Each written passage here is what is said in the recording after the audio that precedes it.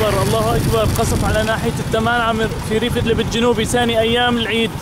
الله أكبر. من قبل الطيران الحربي الأسدي.